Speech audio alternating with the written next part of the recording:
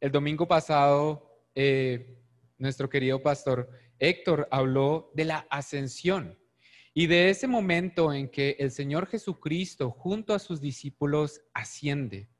Y lo vamos a leer en Lucas, de nuevo, capítulo 24, desde el versículo 49. Dice él, He aquí, yo enviaré la promesa de mi Padre sobre vosotros, pero quedaos vosotros en la ciudad de Jerusalén hasta que seáis investidos de poder desde lo alto. Y los sacó fuera hasta Betania y alzando sus manos los bendijo. Y aconteció que bendiciéndolos se separó de ellos y fue llevado arriba al cielo. Ellos, después de haberle adorado, volvieron a Jerusalén con gran gozo y estaban siempre en el templo alabando y bendiciendo a Dios. Amén.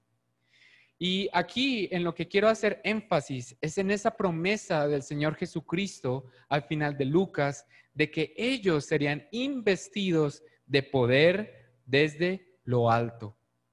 Lucas es el primer libro, como nosotros sabemos, pero Hechos es la continuación.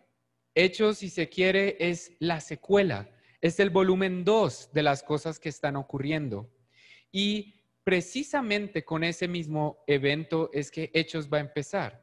Así que podemos ir a Hechos en este momento y vamos a ubicarnos en el capítulo 1 de Hechos, en el primer capítulo de Hechos. La promesa del Espíritu Santo no había ocurrido ya solo en ese momento. Ya el Señor Jesucristo en otros lugares les había dicho a sus discípulos que iba a venir el consolador. Como ahorita oramos, el Señor Jesús en el ah, capítulo 14 de Juan le dijo a sus discípulos que no los iba a dejar huérfanos, que ellos no iban a quedar solos, sino que después de él iba a venir esa promesa, el consolador. Así que después de enseñarles 40 días, después de haber resucitado y después de ascender, queda la expectativa de ese que había de venir, el Espíritu Santo. Es importante reconocer el contexto también de hechos. Hechos normalmente se le llama hechos de qué?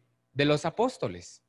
Pero en realidad, si nosotros partimos de que lo que se espera es la promesa, el advenimiento del Espíritu Santo, entonces entendemos que debería llamarse hechos del Espíritu Santo o hechos del Dios obrando a través del Espíritu Santo, no hechos de los apóstoles.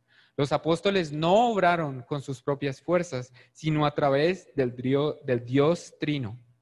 Y dos de los propósitos más importantes de Hechos es mostrar cómo precisamente el Espíritu Santo va a guiar a la iglesia en sus inicios y cómo también a través del Espíritu Santo se comprende que tanto judíos como gentiles hacen parte de esa iglesia. Podemos seguir.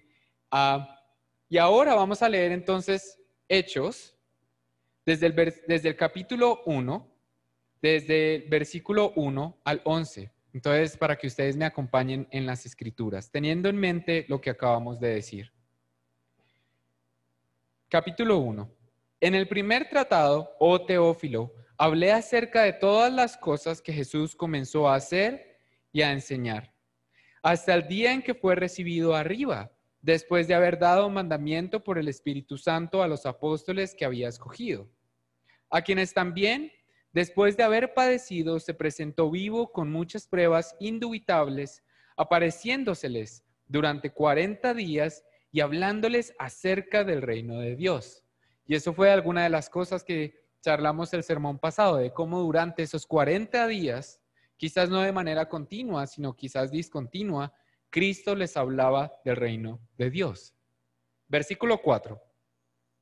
Y estando juntos, les mandó que no se fueran de Jerusalén, sino que esperasen la promesa del Padre, la cual les dijo, oísteis de mí. Porque Juan ciertamente bautizó con agua, mas vosotros seréis bautizados con el Espíritu Santo dentro de no muchos días. Versículo 6. Entonces los que se habían reunido le preguntaron diciendo, Señor, ¿restaurarás el reino a Israel en este tiempo? y les dijo, No os toca a vosotros saber los tiempos o las sazones que el Padre puso en su sola potestad. Pero recibiréis poder cuando haya venido sobre vosotros el Espíritu Santo y me seréis testigos en Jerusalén, en toda Judía, Judea, en Samaria y hasta lo último de la tierra. Y habiendo dicho estas cosas, viéndolo ellos, fue alzado y le recibió una nube que le ocultó de sus ojos. Versículo 10. Y estando ellos con los ojos puestos en el cielo, entre tanto que él se iba, he aquí se pusieron junto a ellos dos varones con vestiduras blancas, los cuales también les dijeron, varones Galileos, ¿por qué estáis mirando al cielo? Este mismo Jesús, que ha sido tomado de vosotros al cielo, así vendrá como le habéis visto ir al cielo. Detengámonos entonces en esos primeros versículos de Hechos. Lo primero de nuevo que hemos de afirmar es la promesa que vuelve y se repite del Espíritu Santo. Promesa que ya también, de nuevo, como he dicho, estaba en Juan. Cuando Juan le estaba hablando a sus cuando el Señor Jesús le estaba hablando a sus discípulos diciendo que no los iba a dejar solos. Es muy interesante, sin embargo, la reacción de los discípulos, porque el Señor Jesucristo les está diciendo de que les va a enviar el Espíritu Santo y ellos le preguntan otra cosa. En el versículo 6 le preguntan, ¿restaurarás el reino a Israel en este tiempo? No se enfocaron en el Espíritu, no se enfocaron en aquel que iba a venir, sino le preguntaron a Dios, al Señor Jesucristo, si este era el momento de restablecer el reino en Israel. Y esto nos dice algo a nosotros también como cristianos hoy. Muchas veces viendo lo que está ocurriendo en el mundo, viendo los conflictos del mundo, nos preocupamos por la venida del Señor Jesucristo, solo por la parte escatológica, el fin de los tiempos. Y olvidamos lo que Cristo le está diciendo aquí a los discípulos y a nosotros, y es, vendrá el Espíritu Santo y con él tienen una misión. Lo mismo ocurre cuando en el versículo 11 ellos se quedan mirando hacia el cielo, como Cristo ha sido alzado. Y estos dos le dicen en el capítulo 11, estos, estos hombres con vestiduras blancas, les dice, ¿por qué estás mirando al cielo? Y parece alguna forma de decirles también, ustedes ya tienen una misión. Ustedes no se preocupen porque el que ha de volver, porque así como lo han visto irse, así vendrá. Pero ustedes ahora tienen que preocuparse por su misión. La iglesia no puede hacer mucho énfasis en la escatología, sino en su misiología, en su propósito mientras viene Cristo. No se queden mirando al cielo, no nos quedemos esperando, sino recordando lo que Cristo nos ha dicho que hagamos. Así que Cristo responde a la pregunta haciendo énfasis en el Espíritu Santo y en lo que el Espíritu Santo traería. Versículo 8 dice, ustedes me seréis testigos en Jerusalén, en toda Judea, en Samaria y hasta lo último de la tierra. Eso sería lo que traería el Espíritu el poder. Y si ustedes se fijan, en este versículo 8 queda clara la estructura de todo Hechos, porque Hechos es eso, es la narración de los apóstoles siendo testigos en, en, en Jerusalén, en Judea, en Samaria y hasta lo último del mundo conocido en ese momento. Ya Israel antes tenía la misión de ser testiga. Si nosotros vemos el Antiguo Testamento en pasajes como Isaías, se dice que Israel era testiga. Pero Hechos nos muestra que la iglesia es la verdadera Israel, que cumpliría el nuevo pacto, que la iglesia sería aquella que sería la verdadera testiga del Señor Jesucristo. Esto se relaciona, por supuesto, con la gran comisión de Mateo 28. Así que vayamos a Mateo 28, versículos 18 y 20 en este momento. Pueden ustedes acompañar.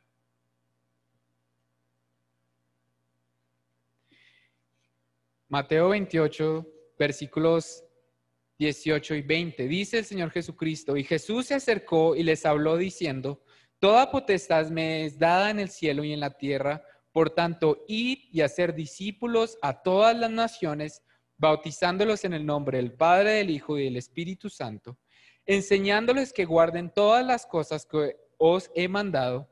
Y he aquí, yo estoy con vosotros todos los días hasta el fin del mundo. Y es la misma idea, la misma idea de que Cristo cuando se cuando retorna al cielo les da una misión y dice, y no van a estar solos de nuevo. ¿Cómo los va a acompañar hasta el fin del mundo? A través del Espíritu Santo. Así que cuando el Evangelio de Lucas nos cuenta los eventos del Cristo encarnado, Hechos nos habla de los eventos y las obras del Cristo resucitado y exaltado, que a través de su Espíritu Santo, junto a su Padre, envía a los apóstoles también. En la época de la iglesia, que continuarán la obra de Cristo en el mundo. Toda la Trinidad está involucrada en este momento. Cristo retorna al Padre y junto con el Padre envían al Espíritu Santo que empoderará a los apóstoles para cumplir su misión. Y Hechos es eso. El libro de Hechos es ese relato de cómo los seguidores de Cristo, aún con inmensas dificultades y obstáculos, expandieron el Evangelio aún frente a toda oposición. Toda esa oposición se mostró en últimas inconsecuente, vana, frente al poder de Dios, el Dios de la historia que llevó a cabo su voluntad con su pueblo. Podemos. Ah, no, es la anterior. Así que, bueno, estamos aquí en los primeros capítulos de, de Hechos, en ese primer capítulo de Hechos, y después de eso sabemos que los discípulos retornan a Jerusalén. Y dice las escrituras que durante ese tiempo, esos 10 días antes de Pentecostés, estuvieron orando, estuvieron persistiendo en la oración, dicen las escrituras, perseveraban unánimes en oración. Y también se nos cuenta el relato de cómo reemplazan a Judas y queda Matías como el doceavo apóstol. Es en este contexto que podemos ir a Hechos capítulo 2. Entonces vayamos ahora a Hechos capítulo 2 y vamos a leer desde los versículos 1 al versículo 13. Dice, cuando llegó el día de Pentecostés, estaban todos unánimes juntos. Ese unánimes juntos parece redundante, pero quiere decir que estaban en una mente, estaban unidos. Y de repente vino del cielo un estruendo como de un viento recio que soplaba, el cual llenó toda la casa donde estaban sentados. Y se les aparecieron lenguas repartidas como de fuego, asentando, asentándose sobre cada uno de ellos. Y fueron todos llenos del Espíritu Santo y comenzaron a hablar en otras lenguas, según el Espíritu les dase que hablasen. Versículo 5. Moraban entonces en Jerusalén judíos, varones piadosos de todas las naciones bajo el cielo. Y hecho este estruendo, se juntó la multitud y estaban confusos porque cada uno les oía hablar en su propia lengua. Y estaban atónitos y maravillados diciendo, mirad, ¿no son galileos todos los que hablan? ¿Cómo pues les oímos nosotros hablar cada uno en nuestra lengua en la que hemos nacido? Partos, medos, elemitas y los que habitamos en Mesopotamia, en Judea, en Capadocia, en el Ponto y en Asia, en Frigia, en Panfilia, en Egipto y en las regiones de África más allá de Sirene, y romanos aquí residentes, tanto judíos como prosélitos, cretenses y árabes, les oímos hablar en nuestras lenguas las maravillas de Dios. Y estaban todos atónitos y perplejos, diciéndose unos a otros, ¿Qué quiere decir todo esto? Y dejémoslo ahí por un momento. Esto es lo que ocurre una vez Cristo ha hablado de la promesa del Espíritu Santo, diez días después. Lo primero que tenemos que entender es qué era Pentecostés, por qué había peregrinos en Jerusalén, qué era lo que se estaba celebrando. Hay varias cosas que mencionar. La primera es que esta fecha estaba relacionada con un festival de la cosecha, especialmente de trigo. Las tres fiestas judías que requerían peregrinación a Jerusalén casi todas estaban también relacionadas con la cosecha. Tanto la Pascua como Pentecostés, como tabernáculos, estaban relacionadas con algún tipo de cosecha. Eso es lo primero. Lo segundo es la fiesta de las semanas. Y en hebreo, esta tradición, esta fiesta de Pentecostés se llama Chavuot, que precisamente Chavuot es el hebreo para semanas. La fiesta de las semanas conmemoraba ese espacio, la finalización de las siete semanas entre la Pascua o la Pesaj, la Pesaj y, la, y el Chavuot, es decir, Pentecostés aquí. Y lo que recordaba Ustedes muy bien ah, recuerdan que la Pascua conmemora esa liberación del pueblo israelita de Egipto, ese éxodo. Así que esa es la segunda ah, parte a tener en cuenta. Y la tercera es que con el Chabuot, es decir, con este Pentecostés, el pueblo de Israel celebraba la entrega de los diez mandamientos de la ley en piedras. Eso está en Éxodo y lo, podemos ver como un suceso muy, muy fundacional de la identidad judía. Por eso es que en este contexto histórico tenemos peregrinos en hechos, en lo que está ocurriendo en este momento. Y ellos ya en la ley, en Levítico 23, también tenían estipulado de qué tratarían estas fiestas. En este contexto es que se narra el advenimiento del Espíritu. Y hay un contraste muy importante. El contraste entre el Shavuot, como lo entendían los judíos en ese momento, es decir, la Torah, la entrega de los diez mandamientos y la ley, la fiesta de las semanas y la cosecha, y por otro lado, la venida del Espíritu Santo ahora es el mismo contraste entre el antiguo pacto y el nuevo pacto. La ley que se le entregó al pueblo estaba en piedras y nunca pudo ser cumplida por Israel. La plenitud de la ley, como lo vamos a ver, no estaba en esas piedras. E Israel nunca pudo cumplir con obediencia. El pueblo nunca obedeció de manera plena y completa. Mientras que el Espíritu eh, Santo, la venida del Espíritu Santo, cumple lo que ya en las Escrituras se decía desde Jeremías. Vamos a, a Jeremías 31. Ustedes conocerán muy bien esa escritura. En Jeremías 31, desde los versículos 31 al 33, dice así, He aquí que vienen días, dice Jehová, en los cuales haré nuevo pacto con la casa de Israel y con la casa de Judá. No como el pacto que hice con sus padres el día que tomé su mano para sacarlos de la tierra de Egipto, porque ellos, ¿qué dice? Invalidaron mi pacto, aunque fui yo un marido para ellos, dice Jehová. Es decir, Jehová se mantuvo fiel. Dios siguió siendo fiel. Versículo 33. Pero este es el pacto que haré con la casa de Israel después de aquellos días, dice Jehová. Daré mi ley en su mente y la escribiré en su corazón. Y yo seré por, a ellos por Dios y ellos me serán por pueblo. Esto que Jeremías está aquí anunciando está realizándose el día de Pentecostés. En el, en el contexto de esta fiesta de Chabuot, viene el Espíritu y recuerda que ahora esa ley no se escribiría en piedras, sino en el corazón de las personas. Y recuerda también que la plenitud de la ley vendría con Cristo y con el Espíritu Santo. Ya en Mateo 5, 17 se habla de cómo Cristo dice que no vino a abrogar la ley, sino la vino a cumplir. ¿Y qué significa cumplir? A darle plenitud, a ir a la raíz, a la esencia de la ley. Esto es lo que está ocurriendo en Pentecostés. Y además tenemos muchas imágenes, imágenes muy importantes. El estruendo y el viento recio recuerdan a ese momento también en el Éxodo, como ustedes ven en las imágenes, en las que Dios se manifiesta en la montaña. Tanto así que en algún momento el pueblo tuvo miedo y le dijo a Moisés, se tuvo hablando con Dios.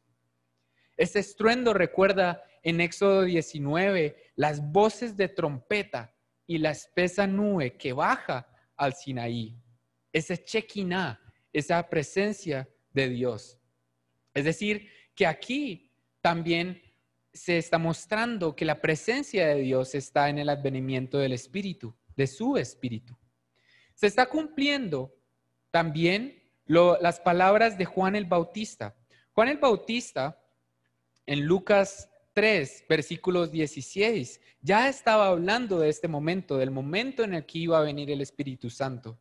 Dice, Lucas 3, versículo 16, y respondió Juan diciendo a todos, yo a la verdad os bautizo en agua, pero viene uno más poderoso que yo, de quien no soy digno de desatar la correa de su calzado.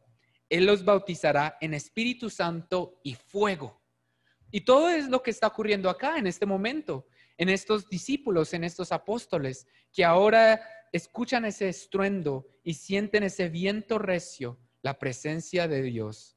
Están siendo, están recibiendo el Espíritu Santo. También hay otro eh, símbolo muy importante, el hecho de que empezaran a hablar en otras lenguas y que las personas que eran peregrinos, dice la escritura, todos los que estaban bajo el cielo, cielo, refiriéndose a todos los judíos que habían sido dispersados, la diáspora, entendían lo que ellos estaban hablando.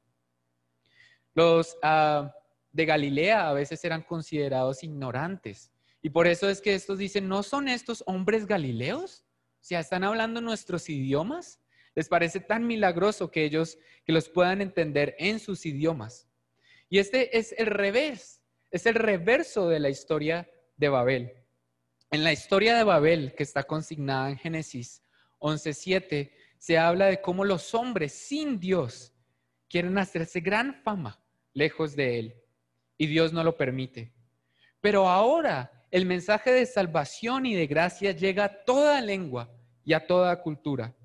Es consistente con el mandato en, el primer capítulo de Hechos, cuando Jesús les dice, y me seréis testigos. Me seréis testigos en toda lengua, y me seréis testigos en toda cultura, y me seréis testigos hasta lo último de la tierra. Todo se está cumpliendo, todo se está llevando a cabo. Y por supuesto, la mención del fuego es supremamente importante. El fuego es un símbolo central de las escrituras. Es de especial importancia en tres sentidos. Primero, es el fuego purificador. En Malaquías, Malaquías 3, versículos 1 al 4, ya se hablaba de que vendría aquel que iba a purificar al pueblo, ese fuego purificador. No es un fuego que destruye al creyente, que nos destruye, sino que nos limpia, que nos purifica. Y me llama la atención que ahorita estábamos cantando en las alabanzas al, al pedir que el Espíritu viniera a nosotros, a reafirmar la presencia del Espíritu en nosotros, decíamos, purifícame, lávame, renuévame, restaurame. Ese es el fuego purificador del Espíritu del que se está mencionando en este momento. Es un fuego que quita todo pecado que purifica y que de nuevo tenía ya un fundamento en el Antiguo Testamento. En 2 Tesalonicenses 2.13 también se dice que el Espíritu Santo está relacionado con nuestra santificación y que a partir de nuestra fe en la verdad, es decir, Cristo, se nos purifica. Eso es lo primero, es el fuego que purifica. Segundo, es la presencia de Dios. En el Antiguo Testamento, otra vez, tanto en el tabernáculo como en el templo habitaba fuego. Y ese fuego representaba la presencia de Dios. El hecho de que ahora aparezcan estos fuegos sobre las personas significa que la presencia de Dios ya no está en un templo, que la conexión entre el cielo y la tierra ya no se da ni en un templo ni en una montaña, se da en el corazón y en la mente del creyente. Dios se hace presente en nuestros corazones. Recuerden que para la cultura judía el monte era un lugar santo porque en el monte se daba la conexión entre el cielo y la tierra. Y por eso es que Moisés sube al monte, por eso es que el Señor Jesucristo también sube al monte de una manera simbólica. Pero ahora el Señor envía su espíritu y dice, ya no es necesario ir a un monte, ya no es necesario ir a un templo, mi presencia está en ti, en tu corazón. Nosotros somos su templo, usted es su templo. Y esa presencia que estaba en Éxodo 19, esa presencia, esa gloria chequiná que ustedes ven en la imagen, ahora aparece en cada uno de ellos. Tercero, poder. Entonces, el primero es el fuego purificador, el segundo es el fuego que muestra la presencia de Dios y el tercero el poder.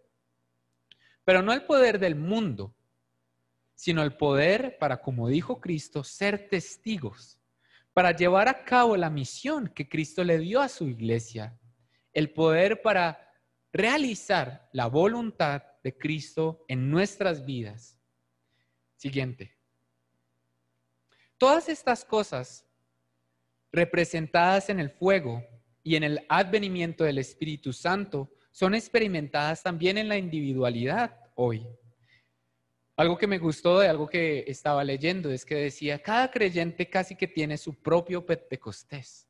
Cada creyente experimenta en su vida la venida del Espíritu Santo que viene como consecuencia de un creer, no de un hacer, sino de un creer, de depositar la confianza nuestra en la gracia de Dios. En Pentecostés entonces celebramos que gracias a Dios estamos purificados y que nosotros ahora somos su templo. Y sí que nos cuesta a veces entender esto porque vemos nuestras vidas y no las vemos purificadas, porque vemos a veces nuestras dificultades y nuestros errores y nos preguntamos si somos puros. Podemos orar y recordar que la obra del Espíritu Santo en nuestra vida es de purificarnos y que somos templo. Si pudiéramos comprender día a día que somos templo, y el Espíritu nos recuerda constantemente que somos hijos de luz y que en nosotros habita Dios. Y nos da poder. Ahora, si bien Pentecostés es algo que ocurrió históricamente hace mucho tiempo, en el tiempo de los apóstoles, sigue vigente hoy. Cuando Cristo oró por sus discípulos, también oró por los que habían de venir. Y eso está en Juan. Podemos ir a Juan capítulo 17 y podemos ver cómo, Cristo ora por los que habían de venir. Juan capítulo 17, leamos versículos 18 al 21. Pronto voy muy rápido. Capítulo 17, versículos 18 al 21. Y dice, dice, Dios, eh, dice Jesús orándole a Dios, dice, como tú me enviaste al mundo, así yo los he enviado al mundo. Y por ellos yo me santifico a mí mismo, para que también ellos sean santificados en la verdad. Versículo 20, mas no ruego solamente por estos, sino también por los que han de creer en mí por la palabra de ellos. Y nosotros somos de ellos. Somos de esos que han creído en la palabra, que han creído por todo lo que ocurrió en ese momento con la expansión del Evangelio que narra Hechos. La misión de la iglesia sigue siendo la misma, ser testigos.